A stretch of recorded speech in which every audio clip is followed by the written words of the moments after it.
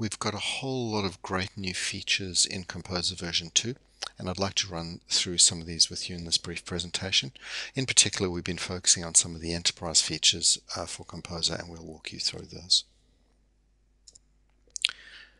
One of the enterprise features that we've introduced in Composer version 2 is a data dictionary. This allows you to define all the data elements that your organization collects across all of your forms across your entire organization and categorize and collate those and organize those. This in turn uh, allows you to define attributes about those various data items and what that means is that when you start building forms based on the data dictionary instead of having to define each attribute of the fields individually such as the label, the caption or the tooltip, the list of allowed values etc um, you simply pick your values from the data dictionary.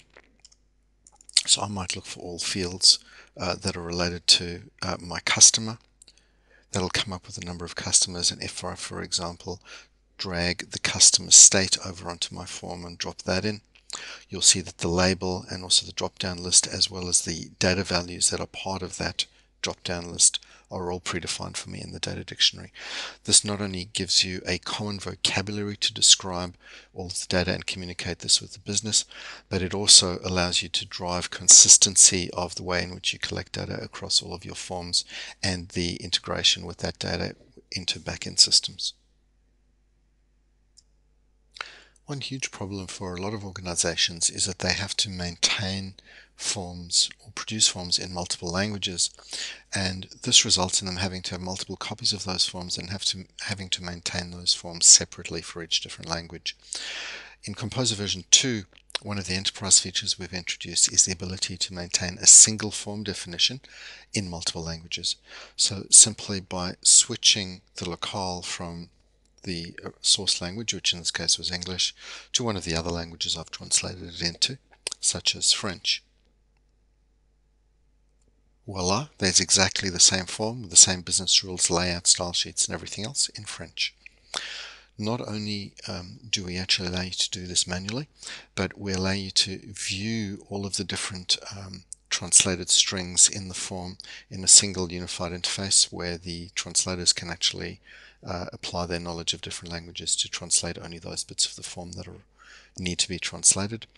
Um, but also we provide the capability to do a first pass um, of this translation process automatically for you. Um, and so this will actually um, um, go off and, and translate those fields for you automatically. Of course, there are very often uh, tweaks that you would need to do in order to get the translation just right, but this provides an excellent starting point. We're very excited about the introduction of wizard style forms in Composer version 2. Wizard style form is a form where we only really show one page at a time to the users and that makes the data collection process much less daunting. Um, you build the forms in exactly the same way as you would a normal composer form. It just looks like another section. Um, and as you can see, um, this is the composer screen here. But when we actually render the form, I'd like to show you how that works. When the form renders, as you can see, it displays only one page at a time in Reader, but the form is does have multiple pages which are navigable through this menu. In addition, through the menu and through changing um, the answers to questions on the form. Using simple business rules I can hide and show different pages of the form. So depending on what answers I I give the length of the form can vary and so that gives the user a very good user interface. Um, I can navigate through the um, uh, through the form either by clicking on the menu options or by clicking on the next and previous buttons at the bottom of each page.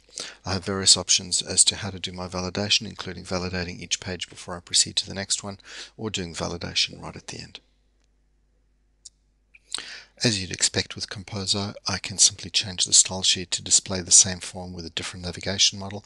In this time the navigation is through uh, tabs at the top of the page.